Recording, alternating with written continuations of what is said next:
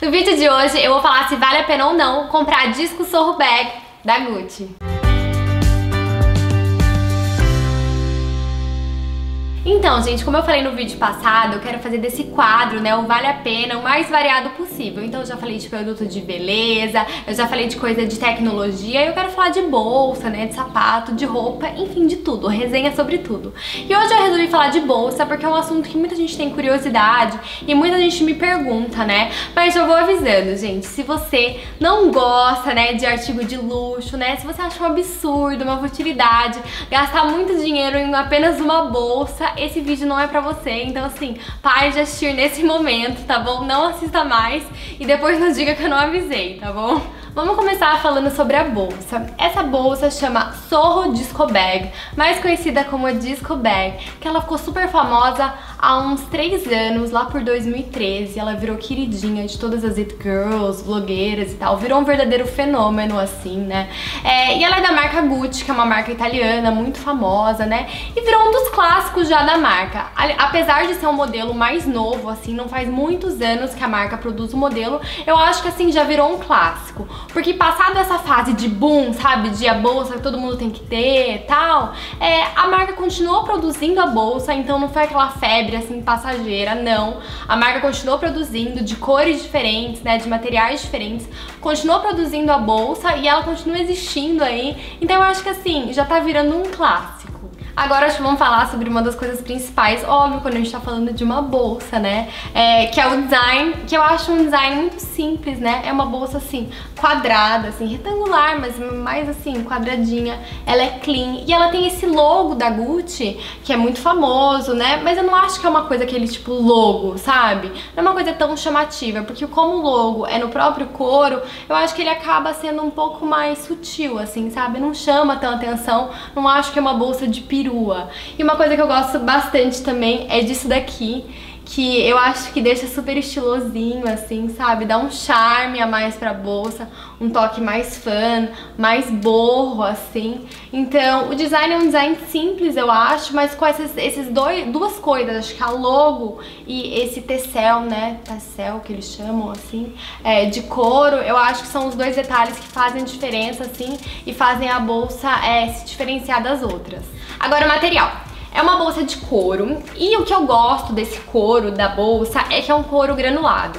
Então o que é o bom desse couro, gente? Ele não risca. Então, ó, posso passar as unhas e não fica riscado, entendeu? Isso é muito bom quando a gente tá pensando em comprar uma bolsa assim mais cara, porque aquelas bolsas que tem um couro mais liso, risca muito, entendeu? Então qualquer coisinha, principalmente a gente que tem unha mais comprida, qualquer coisa risca. Apesar de ser um couro lindo, molinho, delicado, ele não é tão delicado quanto o outro, então assim, dá pra você bater mais, dá pra você usar mais, sabe? Sem ficar com tanto medo de estragar. Então por isso que eu acho que é uma bolsa que dá pra você assim usar mais sem medo, sabe? Colocar, é, usar mesmo, né? E viajar com ela, não ter medo assim de realmente usar, sabe? Então eu gosto bastante desse couro. É, dentro ela não é de couro, tá? Dentro ela não é forrada, isso ajuda também ela a custar um pouco mais barato, né? Diminui o custo dela, ela é forrada de algodão dentro, então só fora ela é de couro. E é um couro da Gucci, né? Então é um couro de uma qualidade incrível, ela vai durar anos e anos, assim.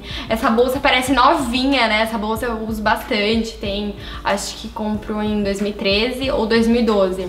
E assim, parece que tá nova. Tamanho da Disco Bag. Ela só tem um tamanho, é tamanho único, e ela tem 21 centímetros de comprimento, 15 centímetros de altura e 7 centímetros de largura. Então assim, é uma bolsa que no primeiro momento você acha pequena. Quando eu vi, eu pensei, gente, essa bolsa é pequena, não cabe nada. Gente, mas é impressionante. Ela cabe muita coisa. Juro assim, né? Muita coisa assim, não dá pra você levar, né? Tipo assim, a vida. Mas cabe uma carteira, uma carteira boa, sabe? Uma carteira grande. Cabe máquina fotográfica pequenininha, cabe passaporte, assim. Então dá pra você viajar tranquilamente com ela, sabe? Então é uma bolsa pequena que dá pra você usar de dia também, porque como cabe a carteira, como cabe máquina fotográfica, é, cabe o celular, até o iPhone Plus, é aquele maior, né? iPhones maiores.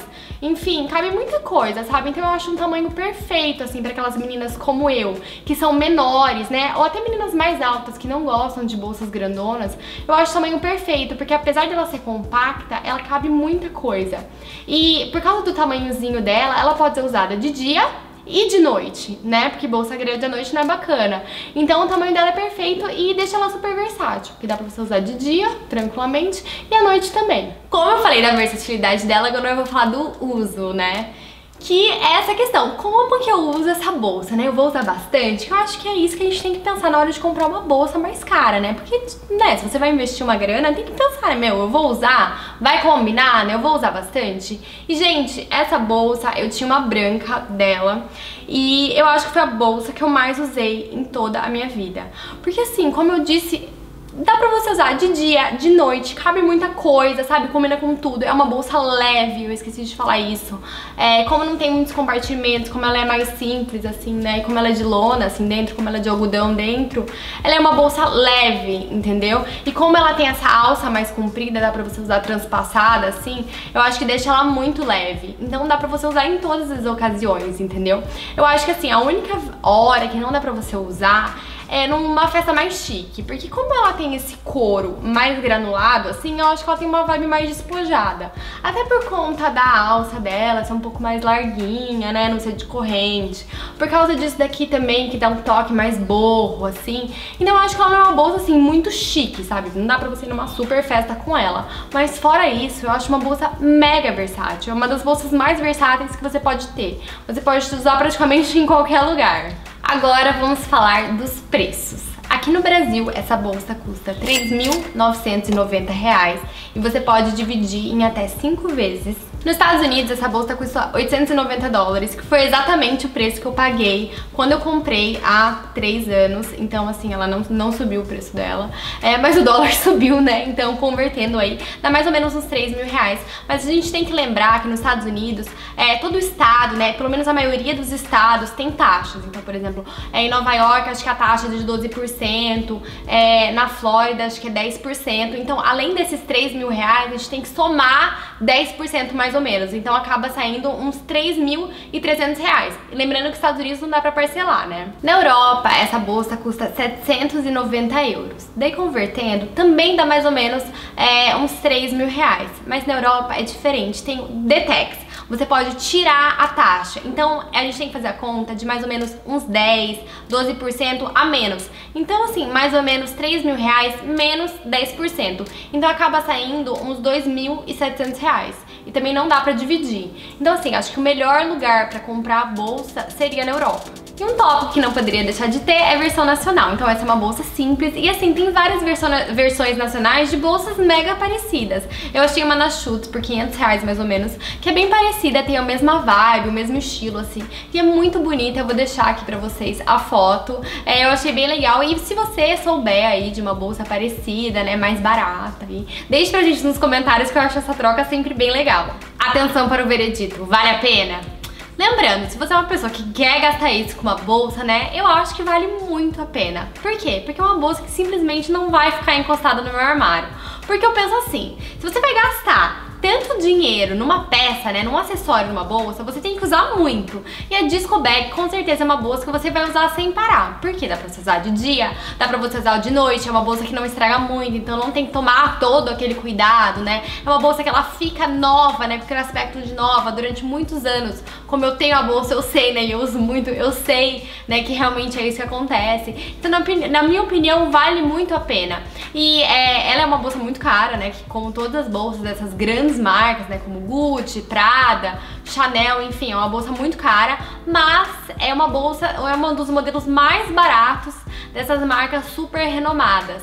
Então, assim, é para quem tá aí pensando em comprar sua primeira bolsa de uma super marca, assim, né, quem tem esse sonho, eu acho que é uma das melhores opções. Eu acho só que não vale a pena pra quem? Pra quem gosta de uma bolsa muito grande, né? Porque eu acho que o legal dessa bolsa é usar de dia e de noite. Então pra você que, que gosta de sair de dia, né? Com uma bolsa enorme, gosta de colocar laptop na bolsa, gosta de andar com um monte de coisa na bolsa, daí essa bolsa não é pra você. Então eu acho mais legal você investir numa bolsa maior. Bom, gente, é isso. Espero que vocês tenham gostado desse vídeo, desse novo formato, né? Se você tem aí é, curiosidade de saber mais, né? Sobre alguma bolsa, deixa aí nos comentários que eu vou fazer uma resenha mais aprofundada pra vocês. Eu sou apaixonada por bolsa, por acessório, né? Se eu tiver a bolsa melhor, se eu não sou, se eu não tiver, eu vou pesquisar e vou falar pra vocês, mas deixa um feedback, eu quero saber se vocês gostaram dessa ideia, essa troca, eu sempre falo que a troca é o mais legal, eu estou sempre de olho em tudo que vocês estão falando pra mim, né? É, enfim, curtam esse vídeo e se inscrevam no meu canal. Beijo!